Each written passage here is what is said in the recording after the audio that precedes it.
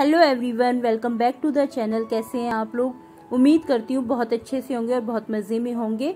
तो आज मैं बनाने जा रही हूँ हरी मूंग की, छिलके वाली मूंग की दाल के पकौड़े। तो इसको हरी मूंग की दाल भी बोलते हैं, छिलके वाली मूंग की दाल भी बोलते हैं। तो मूंग की दाल को मैंने पाँच छः घंटे के लिए भिगो दिया था और इसको मैंने धो के भिगोया था, जिस, क्योंकि मैं छिलके उतारना नहीं चाहती थी। छिलके के साथ ही बना, बनाऊँगी मैं पकौड़े। तो मैंने इसको धो के भिगोया था। और फिर मैंने इसे अच्छे से फिर से धो लिया है एक बार छिलकों के साथ ही, और अब मैं इसे मिक्सी के जार में डाल रही हूँ। तो अब हम इसको पीसेंगे। तो मैं इसमें डाल रही हूँ तीन हरी मिर्च, अदरक कस के और चार पाँच काली मिर्च। तो आप चाहें तो हरी मिर्च और डाल सकते हैं, और अगर आप लोग तीखा खाते हैं तो यहाँ पर हमारी जो दाल है, वो पिस गई है। तो दाल को थोड़ा ज़्यादा पतला नहीं पीसना, थोड़ा दरदरा पीसना है। मैंने दाल को दरदरा पीस लिया है और अब यहाँ पर मैं दाल के अंदर डाल रही हूँ आधी चम्मच नमक, आधी चम्मच गरम मसाला, आधी चम्मच धनिया पाउडर, आधी चम्मच लाल मिर्च और यहाँ पे मैं डाल रही हूँ थोड़ा सा हींग। और अब हम इसको अच्छे से कर देंगे मिक्स। तो इसको चाहे हाथ से मिक्स कर लीजिए, चाहे चम्मच से मिक्स कीजिए, इसको खूब अच्छे से इसको हमें मिक्स करना है। तो तो यहाँ पर तेल भी गर्म हो चुका है और तेल को पहले मैंने खूब गर्म कर दिया था, फिर मीडियम फ्लेम पे गैस को कर दिया था और सरसों का तेल लिया है मैंने और इसके अंदर मैं धीरे धीरे अपने जो दाल के पकौड़े हैं ये डाल दूँगी। और ये जो दाल के पकौड़े हैं, इनको ना बिल्कुल मीडियम फ्लेम पे आपको बनाना है, मीडियम करके, क्योंकि ये अंदर तक जो है पकने चाहिए, कच्चे नहीं रहने चाहिए, इसलिए मीडियम फ्लेम पे बनाना है। पहले तो फ्लेम तेज करके ऑयल को गर्म कर लेना है, थोड़ा मीडियम गरम कर लेना है और उसके बाद पकौड़े डालने का मीडियम फ्लेम पे इनको बनाना है। जिससे कि अंदर से कच्चे ना रहे हैं और ये खाने में बहुत टेस्टी लगते हैं। यहाँ पर बन रहे हैं हमारे पकौड़े और यहाँ बन रही है हमारी चाय। तो चाय के साथ पकौड़े खाने का एक अलग ही मज़ा होता है। और क्योंकि बारिश में तो पकौड़े का अलग ही आनंद आता है तो इसमें प्याज लहसुन कुछ नहीं डाला क्योंकि सावन चल रहा है इसलिए तो सावन के पूरे महीने में प्याज का जो यूज़ है वो नहीं कर रही हूँ। प्याज तो देखिए हमारे पकौड़े हो गए हैं तैयार बिल्कुल और बहुत अच्छे पकौड़े बने हैं बिल्कुल करारे एकदम। तो मैं तो चटनी भी हमारी बनके तैयार हो चुकी है और ये इसमें चटनी है धनिया पुदीना हरी मिर्च टमाटर और बस नमक डाला है हमने हमने इसके अंदर। और ये चटनी हमारी जो है वो तैयार हो चुकी है। चाय भी देखो बन के तैयार हो चुकी है चाय डाल देंगे नहीं।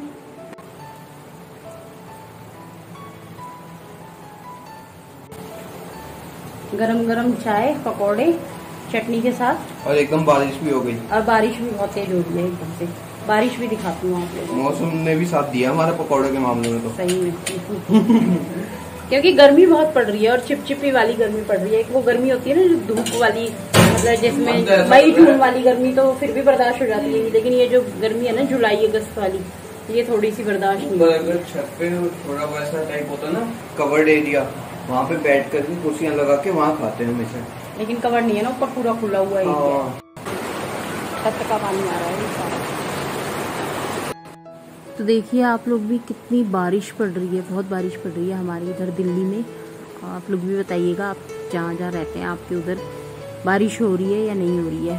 तो ऐसी आदत है, दोनों बार बार किचन में आ रहे हैं और बार बार देखो पकौड़े खा रहे हैं एक एक लेकर के खा रहे हैं। दोनों रसोई के बाहर खड़े हो जाते हैं।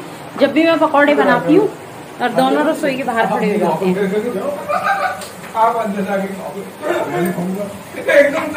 ये देखो अब ये आ गए पकौड़े लेने। एक एक करके पकौड़ा ले जाते रहेंगे और खाते रहेंगे पकौड़ों को।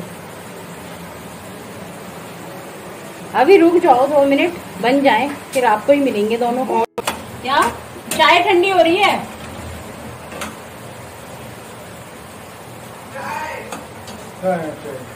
ये इसकी इलू की चटनी रख देते हैं। एक वो दे दो उससे ढक के रख दो इसको। वीडियो बन रही है वीडियो में सब दिखाई दे रहा है। ये क्या तरीका है? एक पकौड़ा यही तरीका है मेरा।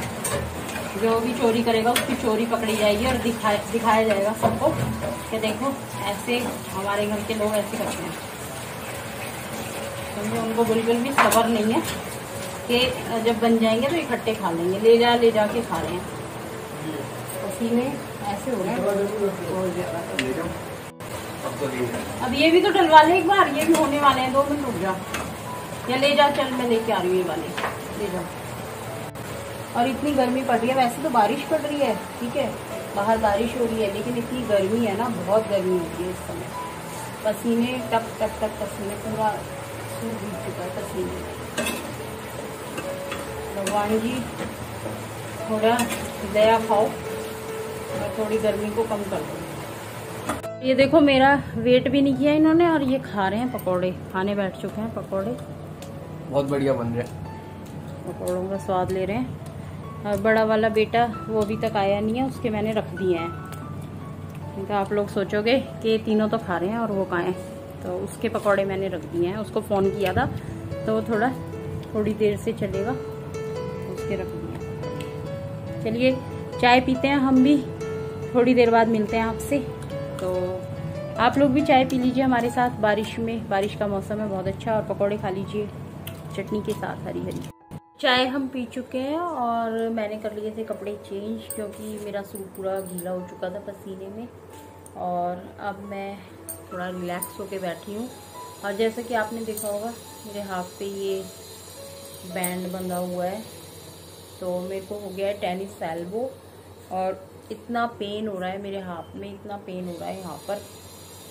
ये कोई कोहनी कोहनी में मतलब कि हड्डी में सूजन आ जाती है।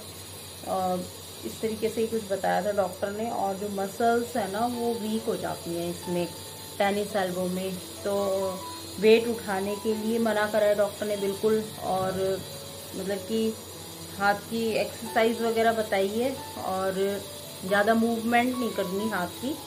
और ये बैंड ना बाँध के रखना है, ये बैंड बता नहीं सकती, मेरे को इतना पेन है ना हाथ में, बहुत ज़्यादा पेन है। मैंने सोचा आप लोगों के साथ शेयर करूँ इस बात को, क्योंकि किस किस को ये प्रॉब्लम हुई है या किसी ने सुनी है ये प्रॉब्लम किसी को हुई हो ये प्रॉब्लम तो आप लोग भी बताना मुझे। क्योंकि मेरे को ये प्रॉब्लम हुई है सेकंड टाइम और पहले मेरे को हुई थी 2019 में। यही प्रॉब्लम हुई थी मेरे को। हम लोग घूम के आए थे और आने के बाद मैंने बहुत सारे कपड़े मतलब कपड़े तो मैंने बहुत सारे कपड़े धोए थे और गीले कपड़ों में वज़न बहुत ज़्यादा हो जाता है तो मैं मतलब कि उठा के ड्रायर में डाल रही थी और एकदम से जो मेरा हाथ था ना, पता नहीं क्या हुआ, झटका आया, क्या हुआ, मुझे नहीं पता।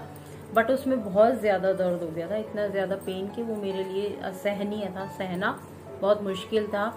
तो फिर भी फिर मतलब मुझे ऐसा मैंने सोचा कोई झटका वटका लग गया होगा, क्या हुआ है, क्या नहीं, मुझे पता नहीं चला। और उसके बाद उसके बाद मैंने इग्नोर कर दिया कि चलो कोई नहीं, हो जाता है कई बार। मैंने ज़्यादा काम कर लिया, शायद इस वजह से मेरे को पेन हो गया है या जो भी है। तो फिर मैं अपना काम करती रही। फिर वो दर्द इतना ज़्यादा बढ़ गया, इतना ज़्यादा बढ़ गया कि मैंने मतलब कि मेरे को पता ही नहीं था, टेनिस एल्बो होता क्या है या टेनिस एल्बो भी हो सकता है मुझे हाथ में। तो कभी मैंने उसमें मतलब कि मैं कोई मूव लगा रही हूँ, कभी कुछ लगा रही हूँ, कभी कुछ लगा रही हूँ। फिर मैंने जो ये पट्टी वट्टी नहीं करते, ये पहलवान वगैरह, इनसे पट्टी वट्टी भी करवाई अपने हाथ में उससे भी कोई फ़र्क नहीं पड़ा। फिर मैं गई डॉक्टर के पास। डॉक्टर के पास गई तो उन्होंने मेरा एक्सरे वगैरह कराया।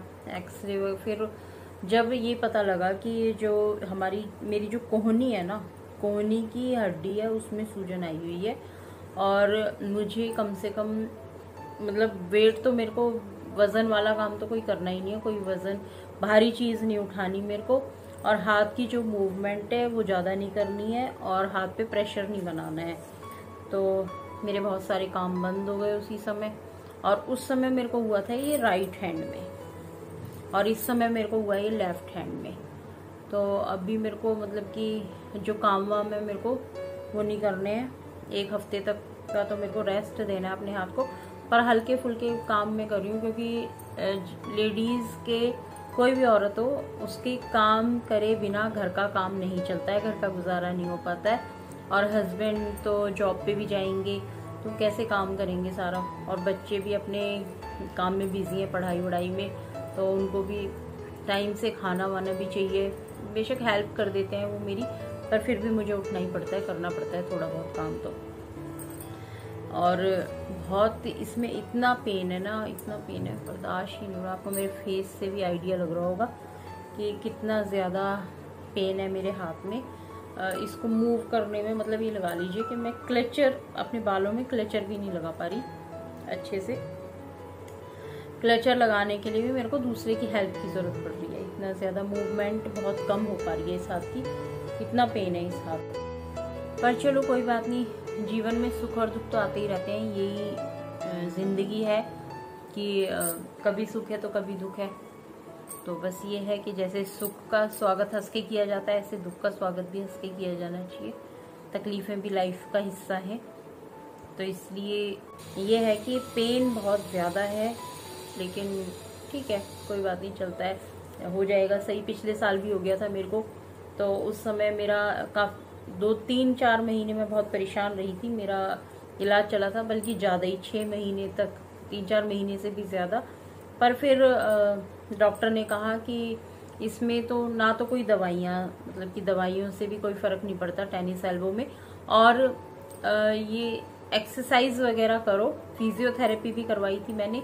तो उन्होंने कहा था धीरे धीरे ये जो है, अपने आप ही कम हो जाएगा। कई लोगों का तो रेगुलर रहता है और कई लोगों का जल्दी सही भी हो जाता है। तो आप इसकी तरफ़ से ध्यान हटा लो। बस ये है कि आप थोड़ा ये ध्यान रखो कि आपको कोई भारी काम नहीं करना, कोई आपको मूवमेंट ज़्यादा नहीं करनी है अपने हाथ की। बस ये ध्यान रखो। फिर ये धीरे धीरे अपने आप ही सही हो जाएगा और इसकी तरफ़ से आप ध्यान हटा दो। तो मैंने बस वही किया। थोड़ी बहुत ये मेरे हस्बैंड हेल्प कर देते थे, मेरे काम में बच्चे हेल्प कर देते थे। तो धीरे धीरे मेरा जो हाथ है वो सही हो गया था। बट पता नहीं ये क्या हुआ है, दोबारा से फिर क्यों हो गया मेरे को हाथ में इतना ज़्यादा। क्योंकि अगर पूरे घर का ध्यान रखना है तो सबसे ज़्यादा मुझे अपना ध्यान भी रखना पड़ेगा। तभी मैं इन लोगों का भी ध्यान रख पाऊँगी। नहीं तो अगर मैं अपना ध्यान नहीं रखूँगी तो इन लोगों का ध्यान कैसे रखूँगी? इसलिए कोई भी हाउस वाइफ है, कोई भी औरत है सबसे पहले उनको अपना ध्यान रखना चाहिए, फिर वो सबका ध्यान रख सकती हैं। तो अपने आप को भी कभी इग्नोर नहीं करना चाहिए, अपना ध्यान भी बहुत ज़रूरी होता है रखना। हम लोग सोचते हैं ना कि नहीं अभी नहीं, बाद में।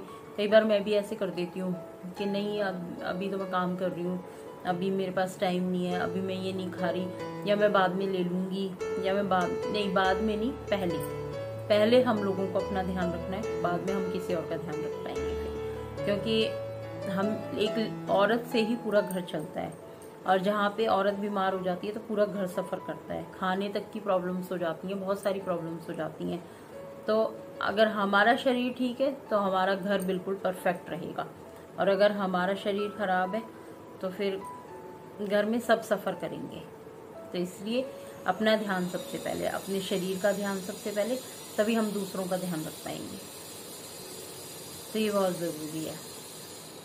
तो आप सब लोग भी अपना ध्यान रखें और वीडियो पसंद आई हो तो वीडियो को लाइक करें, शेयर करें, चैनल को सब्सक्राइब करें।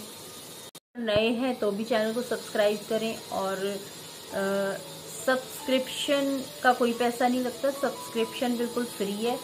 तो जब भी आप मेरी वीडियो देखते हैं तो सब्सक्राइब कर दिया करो चैनल को, जो भी नया है मेरे चैनल पर सब्सक्राइब कर दिया करो और अपने फैमिली और फ्रेंड्स के साथ शेयर करो। चलिए मिलते हैं नेक्स्ट वीडियो में। जब तक के लिए आप सब लोग अपने स्वास्थ्य का ध्यान रखें, स्वस्थ रहें, मस्त रहें, खिलखिलाते रहें, मुस्कुराते रहें और बारिश के मौसम में गरम गरम पकौड़े खाते रहें।